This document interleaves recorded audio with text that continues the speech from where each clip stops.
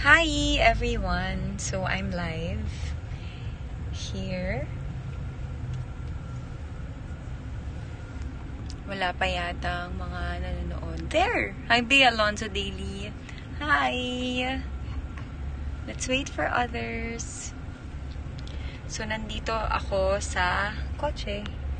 Pauwi from the grand event today.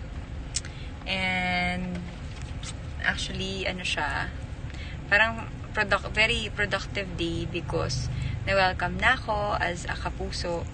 As you know already. Hello. And, um, paano ko ba maano yung araw? Parang, aside from it being productive, I had a lot of fun because kanina, um, when it was just starting, sa totoo lang, sobrang kong kaba. Sobrang kong kabado, sobrang kong excited, na parang lahat, lahat ng emosyon, ilagay mo na sa iisang tao at ako yon kanina.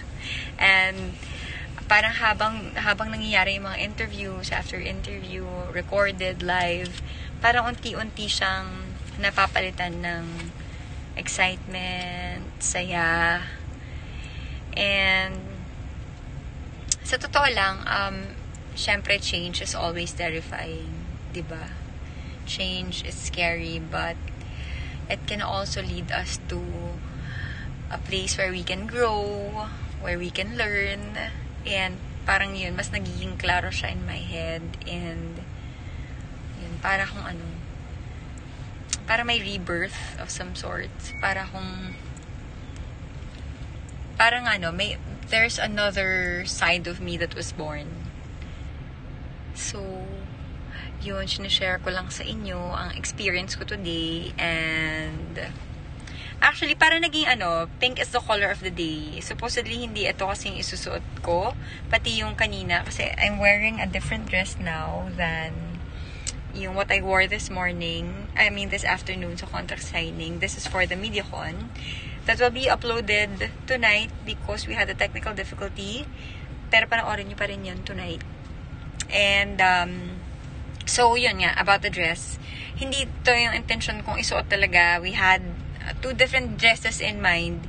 But then, um, when this came to the house and the other two dresses, parang it made more sense na ito na lang isusot ko. Kasi mas maganda yung fit niya and ano, so parang sabi ko, parang siguro pink is the color of the day. And plus, meron din ako ilalabas na vlog tonight and I'm wearing pink by accident. So, parang sabi ko, ah, uh, siguro parang pinag-adya na pink is the color of the day.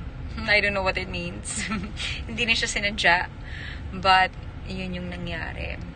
And to be honest, para rin akong guided today uh, throughout this whole journey. I feel His presence kasi nga, kahit isang maliliit na bagay na ganito, parang biglang everything's falling into place para sa akin. And gusto ko lang i-share sa inyo yung excitement that I have right now. Both excitement and calm. Parang there's a sense of pagiging calm today. I mean, ito, towards the end of the day. And yun nga, hindi ko pa mga nababasa din ang mga nakapost. And, but I have been um, getting messages from friends, from mga colleagues ko before, and I have been getting a lot of words of encouragement. So, thank you. Thank you, especially from my fans. Thank you. Thank you dahil sinusuportahan ninyo ako sa bagong yugto na ito na buhay, ng buhay ko, bagong chapter. We are flipping the book and we are here sa bagong chapter ng buhay ko. And it's both exciting, kagaya na sinabi ko sa inyo kanina, it's both exciting and scary. Pero 'di ba, parang mas masarap na may nararamdaman na ganun because it makes you feel alive. So I feel alive now. And later, after kung actually we're having early dinner kasi um, after namin mag-dinner, we're heading straight to the farm sa Zambales. Nandun sila mama, at saka sina James, my brother. And um, tomorrow, meron akong interview na mangyayari sa farm sa Zambales with Miss Jessica Soho. So, uh, mangyari ang in-depth interview ko tomorrow sa farm at it will be aired this Sunday sa Kapuso Mo, Jessica Soho. So, watch out for that. Um, actually, dream of mine din na ma-interview niya. And magko-collab din kami sa vlog. So, watch out for that. And, yeah, so many exciting things ang nangyayari sa akin. And um, I will be going to the States in a few days.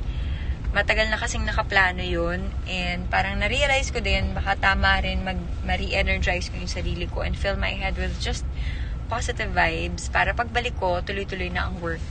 And yun din yung ma-release ko sa mundo, ba? Positive energy and um yun nga, I can give my total 100% to the world.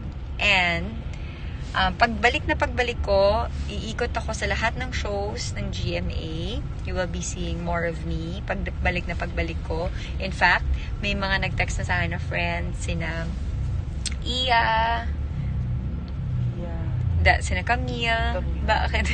Ayan, um, na they want to guest me sa Mars Pamor and nagtasabi na rin ng unang hirit and other shows. So, iikot ako dyan. At syempre, alam nyo naman, i-welcome din ako sa All Out Sundays. So, pagdating ko mangyari lahat ng yan. And malay mo, makapag-guest na ako sa bagong show ni John Lloyd na sitcom. Sana, kanina, sinabihan ko na siya sa Zoom dahil kanina nasa Zoom pala siya. So, I was excited. Sa totoo lang, it was so nice to see a very familiar face today habang lahat ng ito ay nangyayari. Again, parang feeling ko it's part of God's guidance sa araw na ito. Parang ito sa treat.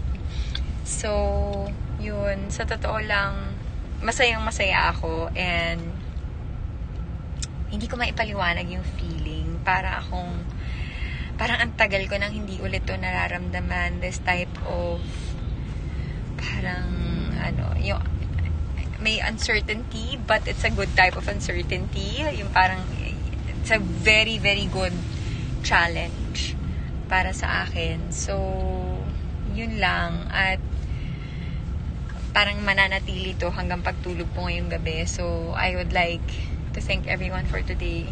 And, honestly, parang ma-taimtim mamaya yung prayer ko kasi parang, ayun, parang nangyari lahat ng in-expect kong mangyari ngayon, or lahat ng at least pinagdasal ko kagabi nangyari ngayong araw na to. So, I'm very, very happy. And, mami-meet ko na si Miss Jessica so bukas.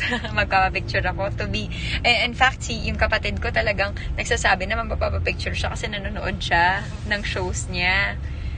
So, yun. And, um, exciting times kasi after my movie with um, Alden, I might start um, the soap already sa GMA. Hindi ko pa masabi kung anong soap, bawal pa, sayang. Pero excited na excited akong sabihin. Kaya nang sabi nila that would call for another MediaCon, yung announcement, because it's a very big title. Hindi pa namin pwedeng sabihin. At hindi ko pa rin pwedeng sabihin kung sino makakasama ko. But after my movie with Alden, that should start already. And uh, it shall air soon sa prime time ng Kapuso Network. So, sana abangan ninyo ako. And, um, yun sa lahat ng mga nag-tweet today, I heard nag-trend daw Nag-trend ako today na proud to be a kapuso. Maraming maraming salamat sa lahat ng suporta ninyo. Thank you for making me trend today.